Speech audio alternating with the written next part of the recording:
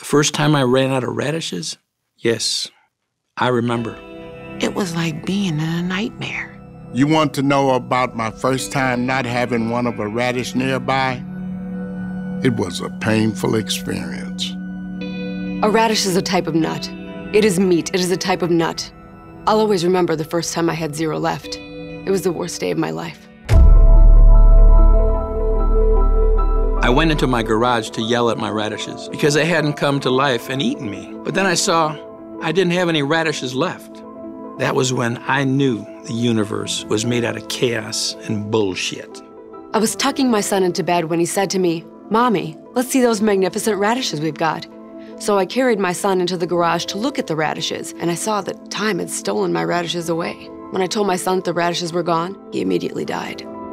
I asked the doctor to x ray my head to see if my radishes were hiding inside there. But when they did the x ray, all they found inside my skull was a small glass of water.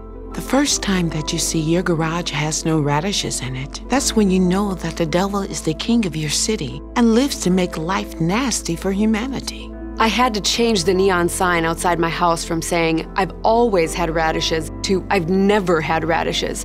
And then I had to throw that sign in the garbage because it was inaccurate. I have had radishes in the past, I just didn't have them at the moment. I called up my boss and I said, A radish is a type of red ball, and I don't have them anymore. And my boss said, You are fired from my life. Do not come to work anymore, and do not walk around near my house. I called up my boss and I said, Here's a riddle for you. What's the difference between radishes and an angel that kisses my wife? And my boss said, What? And I said, I don't have any radishes in my garage. And my boss said, Never be part of my office anymore, ever again. A living skeleton drove to my house in a mid sized sedan and begged me to dangle a radish in front of his face. I told him, Sorry, Bone Bag, but I don't have any radishes left. And as punishment, the living skeleton made my eyes move closer together so that my family wouldn't recognize me. A radish is the blood red eyeball of God, and I do put it in my salad.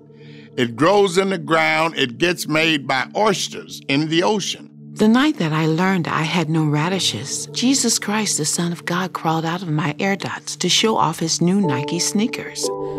And I was just so miserable that all I could do was stuff him back into my air ducts. When Christ crawled out of my air duct, I wanted to tell him how cool his shoes were, but I was so sad about having zero radishes that I could only kiss his shoes a couple of times and then stuff him back into my air duct. A radish is a type of jewel that tastes like a salad. A radish is a tomato, and when you have none left, you feel horrible. You feel like the devil lives in your laundry room. When you have zero radishes, it feels like a spider web is your boyfriend. It's the worst feeling in the world. It's been many years, and new radishes have crawled into my garage. But the hurt that comes from having zero that first time stays with you forever. I don't know what the future will bring, but no matter what happens, a radish is a type of scarlet meatball that lives in the mud. It tastes like salad, it tastes like meatballs. It's the world's only vegetable, and at the end of the day, isn't that all that matters?